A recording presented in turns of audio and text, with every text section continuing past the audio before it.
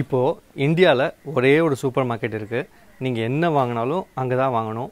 என்ன சர்வீஸ் நமக்கு வேணும்னாலும் அங்கே தான் போகணும். அப்படி இருந்தால் எப்படி இருக்கும்? கன்றாவியா இருக்கும். உங்கள் மைண்ட் வாய்ஸும் இப்படி தான் இருக்குன்னு தெரியுது.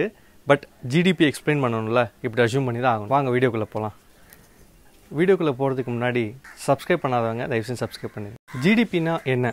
கிராஸ் டொமஸ்டிக் ப்ராடக்ட் இது இங்கிலீஷில் டெஃபினேஷன் சொல்லணும்னா the total value of goods and services produced in a country in a year total value of goods and services அப்படின்னா என்ன?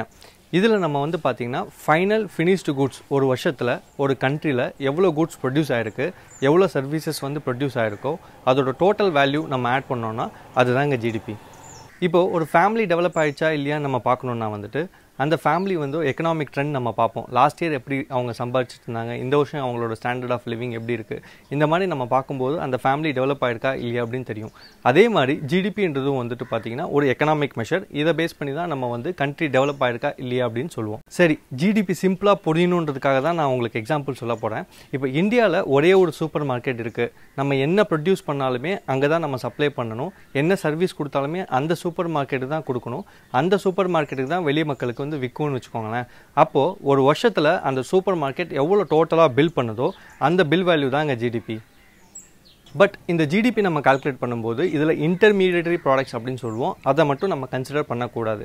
இன்டர்மீடியட் ப்ராடக்ட்ஸ்னால் என்ன அப்படின்றது ஒரு சிம்பிள் எக்ஸாம்பிள் உங்களுக்கு சொல்கிறேன் பாருங்கள் இப்போ ஒரு சிக்கன் இருக்குன்னு வச்சுக்கோங்களேன்.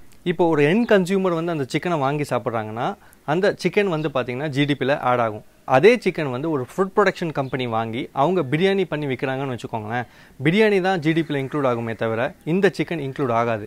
ஏன் அப்படின்னு பார்த்தீங்கன்னா பிரியாணி ப்ரைஸில் ஆல்ரெடி வந்து இந்த சிக்கன் ப்ரைஸ் இன்க்ளூட் ஆகிடுச்சு அதனால் வந்து இந்த சிக்கன் ப்ரைஸ் இன்டர்மீடியட்ன்றதுனால ஆட் ஆகாது. அதே மாதிரி கேபிட்டல் கூட்ஸும் நம்ம ஜிடிபியில் இன்க்ளூட் பண்ண மாட்டோம்.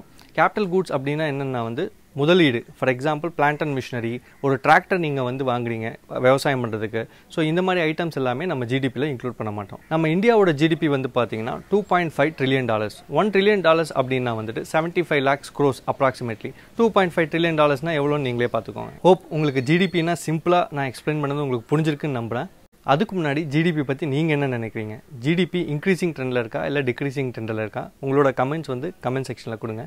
நாங்களும் பார்த்து தெரிஞ்சுக்கிறோம். இந்த வீடியோ உங்களுக்கு பிடிச்சதுன்னா லைக் பண்ணுங்கள் ஷேர் பண்ணுங்கள் மறக்காமல் சப்ஸ்கிரைப் பண்ணுங்கள் தேங்க்யூ